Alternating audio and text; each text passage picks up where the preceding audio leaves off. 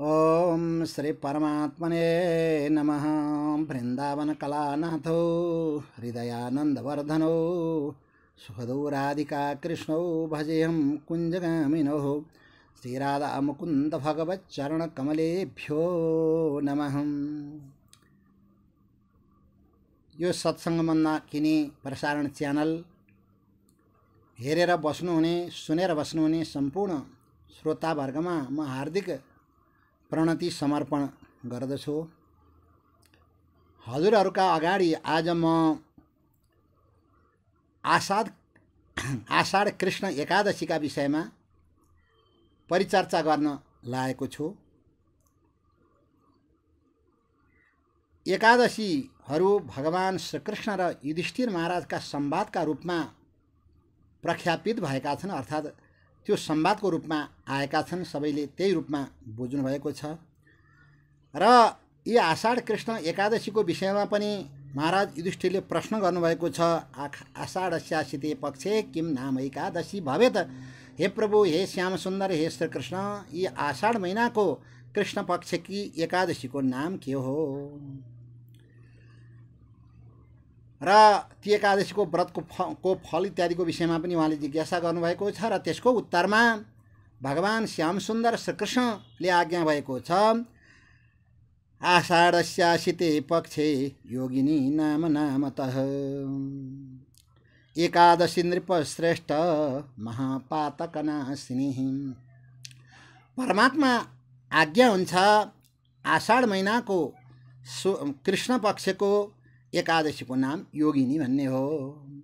र यी योगिनी एकादशी यति महत्त्वपूर्ण हुनुहुन्छ। एकादशी नृपश्रेष्ठ नृपहरूमा सर्वराजाहरूमा सर्वश्रेष्ठ हुनुभएको हे महाराज यी एकादशी महापातक नाशिनी ठुला ठुला पातकहरू ब्रह्महत्या जस्ता पातकहरू त्यसै गरी मद्यपान जस्ता जो पातकहरू सुवर्ण चोरी जस्ता जो पातकहरू छन् त्यस्ता पातकहरूलाई पनि नाशिनी भनेको नाश गर्ने यति ठुलो सामर्थ्य भएकी एकादशी हुनुहुन्छ। त त्यस कारणले महाराज यी एकादशीको हजुर विषयमा जुन हजुरले प्रश्न गर्नुभयो सोध्नुभयो म अत्यन्त प्रसन्न भएको छु र यी एकादशीको कति ठुलो महात्म्य रहेछ यी विषयमा म हजुरलाई एउटा कथानक यहाँ प्रस्तुत गर्दछु। भगवान् शङ्करजीको अत्यन्त प्रिय जो कुबेर हुनुहुन्छ अलकाधिपति जो धनाध्यक्ष हुनुहुन्छ जो लोकपाल हुनुहुन्छ ती कुबेरका एकजना जो सेवक हुनुहुन्थ्यो ती सेवकको मुख्य काम चाहिँ भगवान् शङ्करजीको पूजा गर्नका लागि कुबेरजीका अगाडि पुष्पहरू फुलहरू जम्मा गर्ने थियो र सधैँ उहाँले गएर भगवान् पशुपतिनाथको पूजा गर्न भनेर फुलहरू ल्याएर कुबेरलाई समर्पण गर्नुहुन्थ्यो। र यसरी एक दिन जब उहाँले फुल टिपेर ल्याउनु भयो तर पत्नीप्रति अत्यन्त आसक्त हुनुभएको हुनाले त्यो उहाँले त्यो आफ्नो काममा प्रमाद गर्नुभयो। अर्थात् ती फुलहरू लिएर कुबेर भए ठाउँमा उहाँ जानु भएन र कुबेरलाई बडो कष्ट भयो। किनभने उहाँले चाहिँ नित्य भगवान्को पूजा गर्नुहुन्थ्यो शङ्करजीको पूजा गर्नुहुन्थ्यो। भगवान् शङ्करजीको अत्यन्त प्रिय भक्त पनि हुनुहुन्छ कुबेर मित्र पनि हुनुहुन्छ।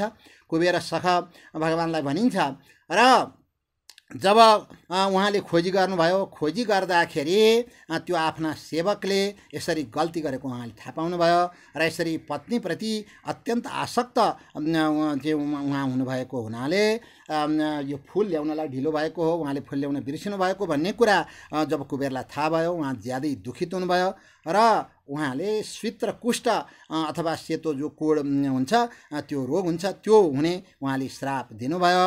र पत्नी वियोगको श्राप पनि उहाँले दिनुभयो। जब कुबेरले यो श्राप दिनुभएको थियो त्यो श्राप प्राप्त हुने बित्तिकै उहाँलाई त्यो शीत र कुष्ठ रोग पनि भयो र पत्नी वियोग पनि उहाँले चाहिँ प्राप्त गर्नुभयो। र यस किसिमले अब उहाँ त्यो आफ्नो ठाउँमा बस्न सक्नु भएन। त्यहाँबाट निक्लेर घुम्न लाग्नुभयो संसारमा।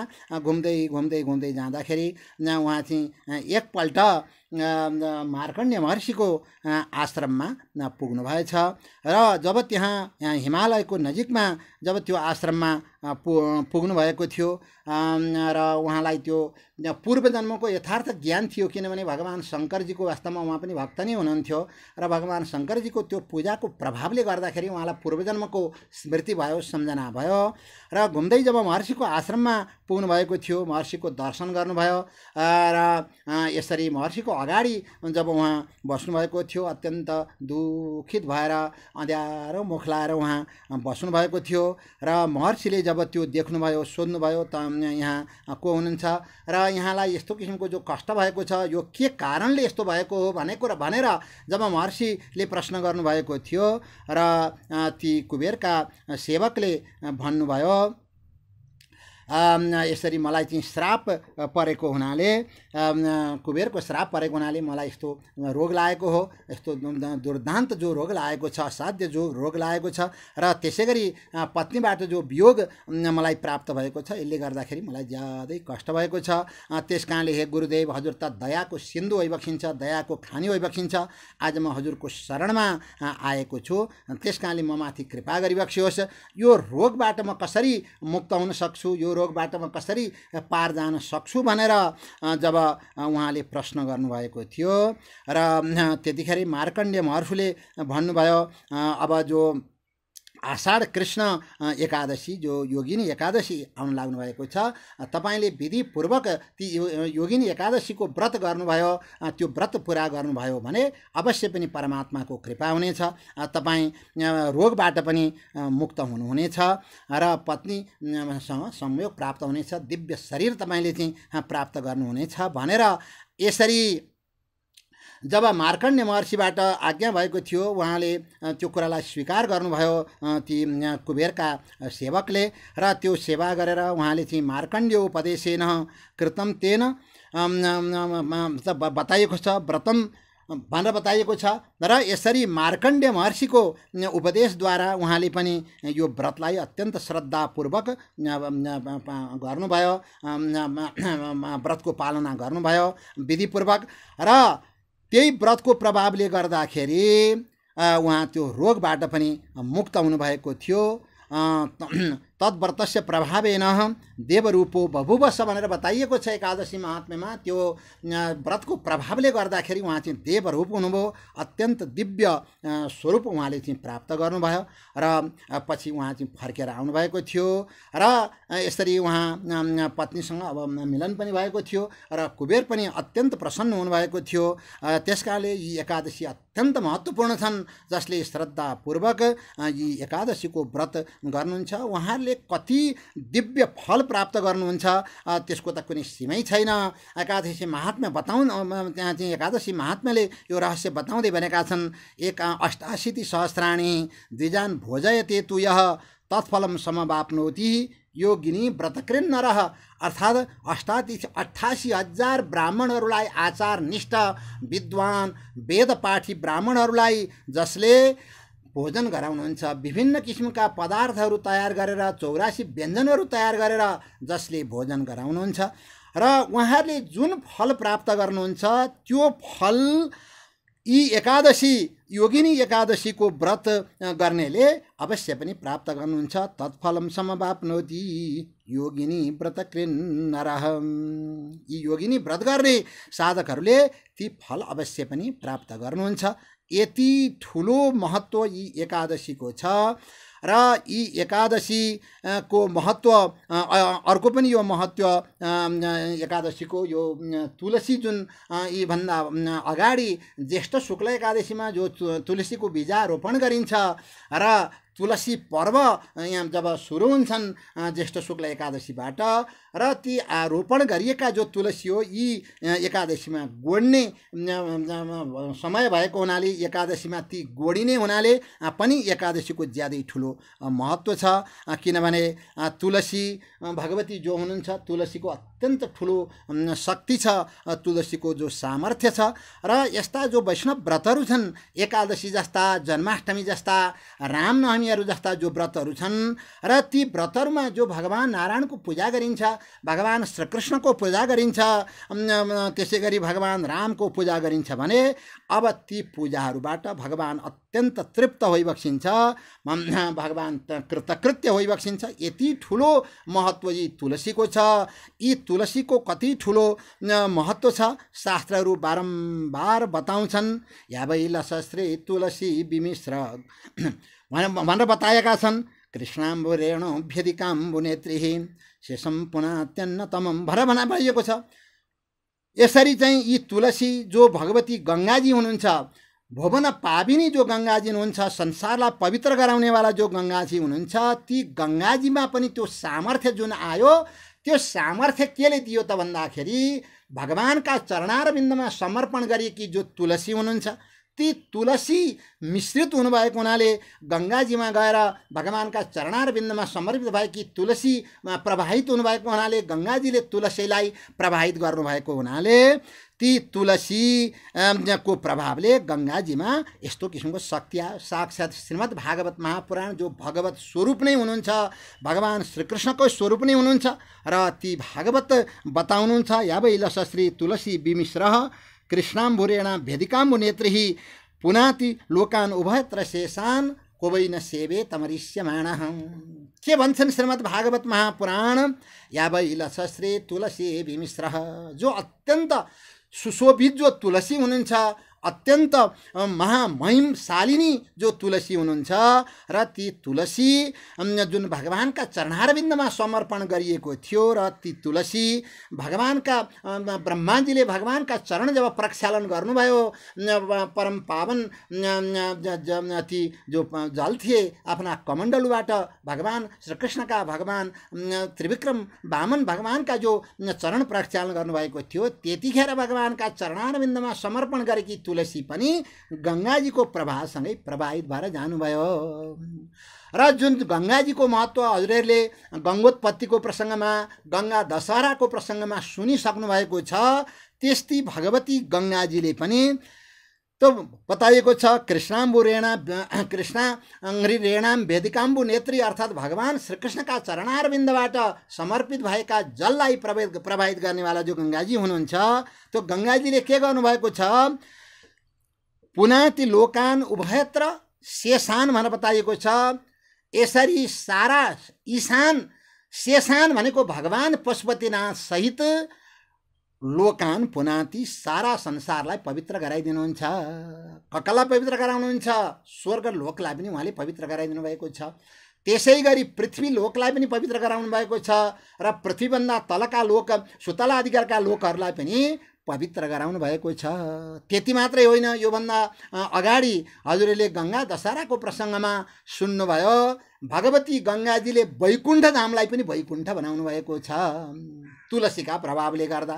शिवलोकलाई पनि वैकुण्ठे शिवलोककै भनेर जो देवी भागवतमा आएको छ शिवलोकलाई पनि उहाँले पवित्र गराउनु भएको छ। गोलोकलाई पनि उहाँले पवित्र गराउनु भएको छ र अरू जति पनि लोकपालहरूका वरुणजीका लोक छन् कुबेरजीका लोक छन् त्यसै गरी अग्नि वायु सूर्य चन्द्रमा इत्यादि त्यसै गरी भगवान् गणेशजीका लोक त्यसै गरी जगदम्बा भगवती गुहेश्वरीका दिव्य मणिदीप जस्ता जो धामहरू छन् लोकहरू जो छन् र त्यसै अरू पनि जति पनि विभिन्न पुण्य तीर्थहरू छन् ती सारा लोकलाई गङ्गाजीले पुण्य क्षेत्रहरूलाई वास्तवमा पुण्यातिशयशाली बनाइदिनु बनाइदिनु भएको छ भगवती गङ्गाजीले र यसरी भगवान् शङ्करजीले जुन गङ्गाजीलाई आफ्ना शिरमा राखेर भगवान् पनि धन्य धन्य होइबक्स्यो महापावन होइबक्स्यो भगवान् परम शिव होइबक्स्यो।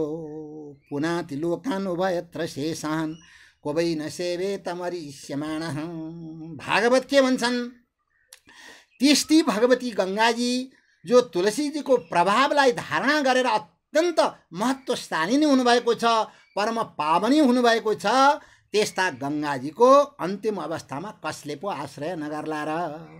भगवान् कुनै पनि यस्तो हिन्दू सनातनी व्यक्ति हुन सक्दैनन् जसले अन्तिम अवस्थामा भए पनि गङ्गाजीको आश्रय गर्न नखोजुन् गङ्गाजीमा जान नखोजुन् त त्यस्तो व्यक्ति त कोही पनि हुन सक्दैन। त त्यस कारणले भगवती गङ्गाजीको त्यो महात्म्य जुन प्रभाव आयो त्यो प्रभाव भगवती तुलसीबाट पनि प्राप्त भएको हो। र यसरी त्यस्ती परम पावनी तुलसीजीलाई पहिले आरोपण गरेर त्यसपछि जो गोड्ने दिन यी दिन आषाढ कृष्ण एकादशी भएको हुनाले पनि एकादशीको ज्यादै ठुलो महत्त्व छ। र त्यसै गरी यी जो एकादशी पर्व छन् भगवान् विष्णुका उपासनाका यी पर्व हुन् भगवान् नारायणका उपासनाका यी पर्व हुन् भगवान् श्रीकृष्णका उपासनाका यी पर्व हुन् र यी पर्वहरूको ज्यादै ठुलो महत्त्व ज्यादै पवित्रता छ पावनता छ यी पर्वमा। र यी पर्व सबैका लागि उत्तिकै महत्त्वपूर्ण छन् सबैले यी पर्वहरूमा व्रत गर्नुपर्छ र नियम निष्ठा सारा पालना गर्नुपर्छ र त्यसमा पनि जो वैष्णवहरू हुनुहुन्छ हाम जो भगवत भक्तहरू त उहाँहरूको लागि त सर्वस्व नै हुनुहुन्छ एकादशी र एकादशीका व्रत उहाँहरूका लागि त सर्वस्व नै हुन् र भगवान् कति महान होइबक्सिन्छ भगवान्का ती महानता भगवान् नारायणका ती उत्कर्षहरू भगवान् श्रीकृष्णका ती उत्कर्षहरू शास्त्रहरू बताउँछन् भागवत जस्ता महान शास्त्रहरू प्रतिपादन गर्छन्। अथापि यतपादनखावशिष्टं जगद्विरिञ्चो परितारहणाम्बः शिशं पुनात्यन्न तमो मुकुन्दात्। को नाम लोके भगवत पदार्थ। वास्तवमा भगवान् भन्न भगवत जुन शब्द छ भगवान् भन्ने जुन शब्द छ ए यो शब्दको एक मात्र लक्ष्य यो शब्दले प्रतिपादन खो गर्न खोजेको एक मात्र तत्त्व भनेको कृष्ण तत्त्व हो नारायण तत्त्व हो राम तत्त्व हो। त्यससँगले शास्त्रहरू के भन्छन्? अथापेतपाद नखा अवशिष्टम जुन भगवान्का चरणा रविन्द अर्थात् भगवान्का चरणका जो नङहरू छन् ती नङहरूबाट प्रभावित भएको अर्थात् ती नङहरूलाई प्रक्षालन गरेर बग्नु भएको जो भगवती गङ्गाजी हुनुहुन्छ जगत बिरिन्चो परितार हणाम्ब भगवान् ब्रह्माजीद्वारा समर्पित जुन जल छन् गङ्गा जल ती गङ्गा जलले शेषम पुनाति। भगवान् शङ्करजी समेत सम्पूर्ण चराचरलाई पवित्र गराउँछन् भने को न सेवे तमरिष्यमाण। तब त भन्नुहुन्छ शेषम पुना त्यन्न तमो मुकुन्द को नाम लोके भगवत पदार्थ? अर्थात् त्यस्तो भगवान् शङ्करजीलाई पनि त्यति महान बनाइदिने। भगवान् शङ्करजीलाई पनि त्यति परम शिव बनाइदिने महाशिव बनाइदिने महामङ्गलकारी बनाइदिने जुन क्षमता भगवान् श्रीकृष्णमा छ भगवान्का चरणारविन्दमा छ अब उहाँभन्दा अर्को भगवत शब्द वाच्य खोज्न हामीहरू कहाँ जाउँ? त्यस कारणले भगवत्ताको चरम सीमा भगवत्ताको अन्तिम सीमा पुरुषोत्तमता पुरुषोत्तमताको जो अन्तिम सीमा भगवान् भइबक्सिन्छ उत्तम पुरुषस्त्वन्य परमात्मे तुदारित तस्मात् लोके च वेदे च प्रथित पुरुषोत्तम अर्थात् जसलाई पुरुषोत्तम भनिन्छ त्यस्तो पुरुषोत्तमता भगवान् श्रीकृष्ण नै बक्सिन्छ र त्यस्तो भगवान् श्रीकृष्णकी अत्यन्त प्रिय जो तिथि एकादशी हुनुहुन्छ ज्यादै महान हुनुहुन्छ।